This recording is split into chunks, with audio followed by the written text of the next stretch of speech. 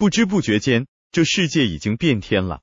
前几天给大家说了，在中国的斡旋之下，沙特和伊朗这一对百年世仇在百年握手言和，双方互设大使馆，并且是沙特国王马上要准备访问伊朗。从公然抛弃美元，再到和伊朗握手言和，沙特的突然倒戈转变，并且力度之大，让美国措手不及。就在今天，又有一个好消息从中东突然传来，在幕后神秘力量的斡旋之下，沙特、也门和胡塞武装坐到了一起，双方也要休兵停战了。要知道，胡塞武装和也门政府那可是多年的不战不死不休的冤家对头，双方斗了许多年。二零一四年，游击队性质的胡塞武装夺取首都萨那后，又占领也门南部地区，也门政府紧急向沙特求助。二零一五年，沙特牵头成立多国联军，对胡塞武装发起军事行动，和胡塞武装展开激战。直到二零一八年十二月，在联合国的多次斡旋之下，也门政府和胡塞武装达成协议，同意停火。但不久，双方即互相指责对方破坏停火协议，双方战火又起。胡塞武装是光脚的不怕穿鞋的，在和也门政府激战的同时。直接把矛头瞄准了沙特。多年来，胡塞武装不但未能消灭，反而是愈发壮大起来。近年来，更是鸟枪换炮，启用自杀式无人机对沙特本土展开偷袭，并多次对沙特的经济命脉油田发起空袭行动，使得沙特的损失惨重。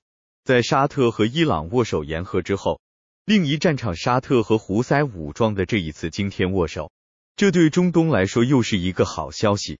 没错，也门和胡塞武装这一对不死不休、已经厮杀了多年的冤家对头，也要放下刀枪握手言和了。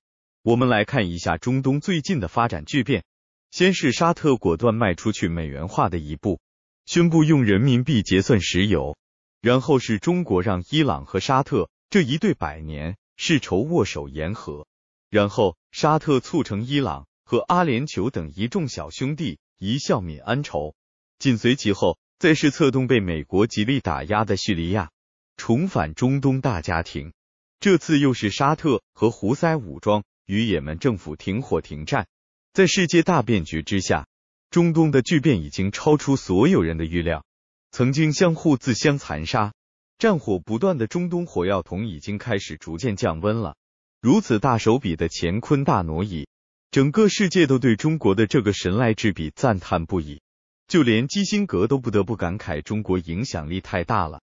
我们看到，在当下的中东，只有美国唯一的盟友中东小霸王以色列还在那打打杀杀，但是已经引发公愤了。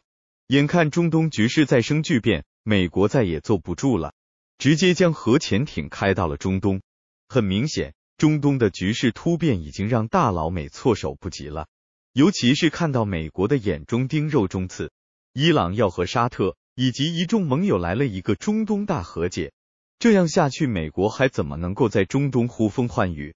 怎么样还能够在中东把水搅浑之后，然后火中取栗？所以美国彻底急眼了，并且首次把他的核潜艇开到了中东。很明显，美国就是冲着伊朗来的，妄图再次想要在中东挑起战火。但是此时的美国转回头去，悲哀的发现他的身后。只有以色列一个小兄弟了。一场乌克兰战争都已经把美欧拖了个精疲力尽，如果美国再想在中东甚至是台海搞事，只能会让其身边的盟友加速离场。我们看到访华结束的马克龙振臂高呼：“欧洲不能再做美国的马仔了。”可能此时的小马哥看看中国的蓬勃发展，再看看欧洲跟着美国混的凄惨下场，心里早就已经感慨万千了吧。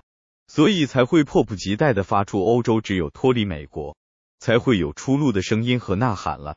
其实就在中东大和解之际，美国中情局局长伯恩斯本周突然秘密访问了沙特，他向沙特方面表示，美国对沙特在中国斡旋下同伊朗和叙利亚和解感到措手不及和失望。美帝确实是措手不及的，因为在沙特伊朗和解的时候，他们从上到下是懵逼状态。白宫和媒体半天都毫无反应，美帝也确实是失望的。一来他不希望沙伊和解，中东和平。如果整个中东和平了，那他美帝在中东的理由是什么？他还能理直气壮在伊拉克驻军，在叙利亚偷油割小麦吗？美帝更失望的是，这次中东大和解是在中国主导和斡旋下完成的。他没有想到，对手居然在他心腹之地，居然拥有了这样的影响力。这对于他的全球霸权来说是史无前例的威胁，以至于美帝直到现在还是懵逼状态，没有找到合适的应对措施，只能偷偷摸摸派中情局局长密访沙特，试图得到更多的情报。有人说美帝真坦诚，从来不掩饰自己的想法。搞清楚，这是密访，这种事情被曝光在媒体上面，和美帝坦不坦诚没关系，那是因为他众叛亲离。被人直接把事情捅给了媒体，让他在公众面前大爆其丑，让大家知道美国对和平是失望的。他就希望世界处于混乱、分裂、动荡、仇恨之中，他才能有利所图。为了自身的霸权和利益，他甚至不惜主动制造冲突和战争。这说明中东各国已经看清了美国的真面目，他就是个奇丑无比的战争贩子。帝国的控制力和威慑力已经名存实亡了，帝国的霸权也利益线也岌岌可危，自身通胀居高不下，金融核弹越搓越大，党争内斗已经到了报复清算的地步。以色列内乱、俄乌冲突让整个欧洲陷入衰退和混乱，美军天兵迟迟不敢下场，叙利亚军事基地被轰炸，欧佩克石油减产，沙特和东盟正在和中国推动本币结算。连印度都不把美国放在眼里，这个霸主还能干点什么？美国越扩张的大，力量就越分散。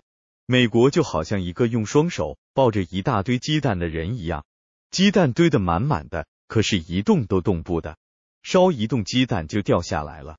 美国在全世界许多国家建立的几百个军事基地，都是套在美帝国主义脖子上的绞索。不是别人，而是美国人自己制造这种绞索，并把它套在自己的脖子上，而把绞索的另一端交给了中国人民、阿拉伯各国人民和全世界一切爱和平、反侵略的人民。美国侵略者在这些地方停留的越久，套在他的头上的绞索就将越紧。看看这些跨越时空的伟大预言吧，那位智者是如何在美国最强盛的时候。在帝国主义最嚣张跋扈、看起来不可战胜的时候，一眼看穿了他们的结局。他说的一点没错，就像《银河帝国》中谢顿的心理史学一样，辩证唯物主义确实是照亮黑暗历史长河的明灯。